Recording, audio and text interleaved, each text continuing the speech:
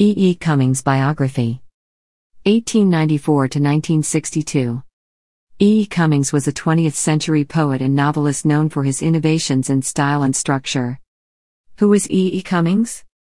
E. E. Cummings was an innovative poet known for his lack of stylistic and structural conformity, as seen in volumes like Tulips and Chimneys and XLI poems.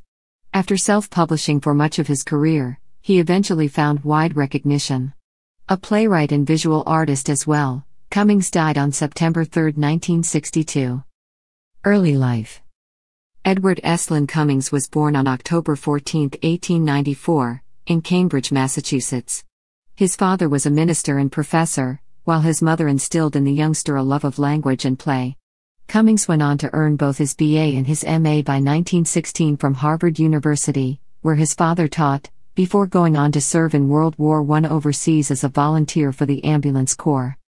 A pacifist, Cummings was imprisoned for several months by French authorities for suspicion of treason due to letters he'd written. He later recounted his jail experiences in the autobiographical novel The Enormous Room, published in 1922. Writings His next book, Tulips and Chimneys, 1923, was a collection of poems. He published a few more volumes of poetry in the 1920s and 30s. Cummings, who lived in Paris and New York, became known for poems that played wildly with form and spacing, punctuation, capitalization, overall grammar and pacing.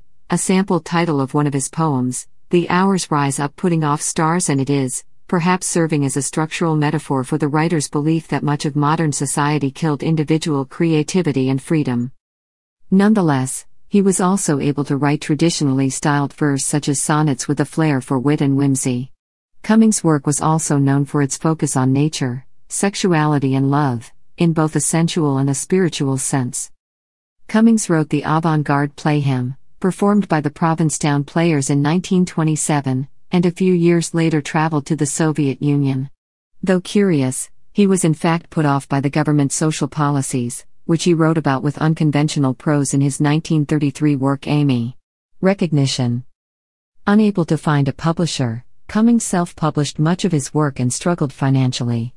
It was only in the 1940s and 50s, with a burgeoning counterculture, that his style of writing came to be more favored by the masses and he gave live readings before full houses. He received a fellowship from the Academy of American Poets at the start of the 1950s. He later spoke about his work as part of Harvard's Charles Eliot Norton Lecture Series, presented in the 1953 book I, Six Non Lectures. Later in the decade, he won the Bollingen Prize for Poetry from Yale University. Cummings was also a noted visual artist who presented one man gallery showings. He was married three times. Death and Literary Legacy Cummings died on September 3, 1962, in North Conway, New Hampshire, from a brain hemorrhage, leaving legions of poems as a literary legacy.